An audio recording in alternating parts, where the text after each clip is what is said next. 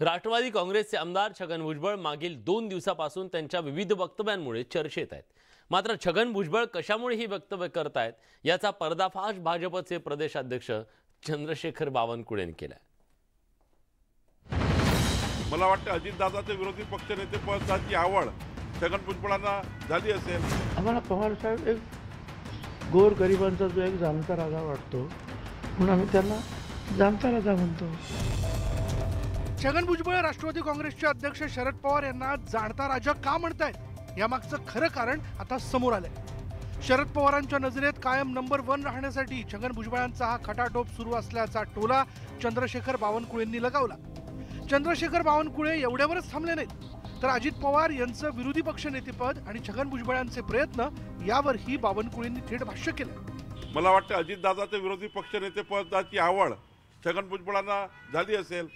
एखाद्या वेळी विरोधी पक्षनेता बनण्याची त्या ठिकाणी मनात हे आली असेल म्हणून पवार साहेबांच्यावर जास्त मार्क वाढले पाहिजे म्हणून सहानुभूती निर्माण करण्याकरता किंवा आपणच नंबर एक आहोत शरद पवार साहेबांजवळ आपणच त्या ठिकाणी त्यांची हितचिंतक आहोत असं दाखवण्याकरता काल छगन भुजबळांनी प्रयोग केला. चंद्रशेखर बावनकुळेंनी छगन भुजबळांचा डोळा अजित पवारांच्या विरोधी पक्षनेतेपदावर असल्याचा गौप्यस्फोट केला. तर छगन भुजबळांनीही त्यांच्या खास शैलीत उत्तर दिलं. विरोधी पक्ष नेतेपदावर माझा डोळा आहे. माझा कशावरच डोळा नाही. काय माझा डोळा फक्त जे आहेत या बावनकुळेवर आहे. राष्ट्रवादी काँग्रेसचे अध्यक्ष शरद पवार यांना जाणता राजा म्हणण्याच्या मुद्द्यावर ठाम असल्याचंही छगन भुजबळ यांनी स्पष्ट केलं पंतप्रधान मोदी साहेबांना विष्णूचा अवतार म्हणता. आम्ही काय म्हणालो? ठीक आहे तुम्हाला ते विष्णूचे अवतार वाटतात. तर म्हणा तुम्ही. आमचं काही म्हणणं नाही. आम्हाला पवार साहेब एक गोर गरिबांचा जो एक जाणता राजा वाटतो म्हणून आम्ही त्यांना जाणता राजा म्हणतो. छगन भुजबळांचा खरंच अजित पवारांच्या विरोधी पक्ष नेते पदावर डोळा आहे का? आणि तसं असेल तर ही मोठी राजकीय घडामोड म्हणावी लागेल. आणि तसं नसेल तर चंद्रशेखर बावनकुळेंनी राष्ट्रवादी काँग्रेसमध्ये संशय कल्लोळ उडवून देण्यासाठी ही खेळी केली असण्याची शक्यता नाकारता येत नाही. आणि सध्याच्या राजकीय घडामोडी पाहता कोणतीही शक्यता नाकारता येत नाही हेही तितकंच खरं. Bureau report news eighteen Lokmat.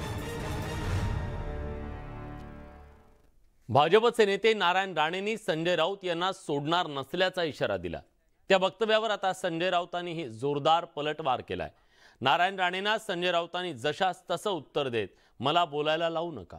Rane यांची आर्थिक प्रकरणं बाहेर काढली तर पन्नास वर्ष तुरुंगात जातील असा प्रति हल्ला चढवलाय.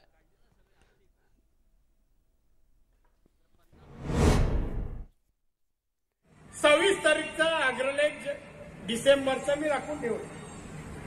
संजय राऊतला सोडणार नाही मी पण त्याच्यावर केस टाक शंभर दिवस तो हात राहायला कमी राहिला त्याला वाटतं परत जाऊ.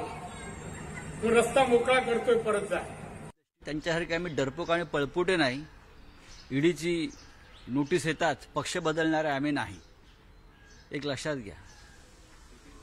कोण कोणाशी बोलते हिमतीच्या गोष्टी धाडसाच्या गोष्टी? त्यांनी बोलाव्यात. मी अजूनपर्यंत त्यांच्यावर काहीच बोललो नाहीये. एकेकाळी ते आमचे सहकारी होते. धमक्या देऊ नका. धमक्या देणार असाल ना तर राजवस्त्र बाजूला काढा. आणि या. मग दाखवतो मी. माझ्या नादाला लागू नका.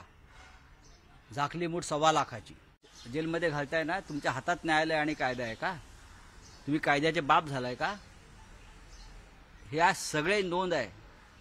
कोण कोण मला जेलमध्ये ही सगळी नोंद मी चीफ जस्टिस ऑफ इंडियाना पाठवलेली आहे नारायण राणांच्या जर प्रकरणं काढली ना सगळी आर्थिक तर पन्नास वर्ष सुटणार नाहीत ते.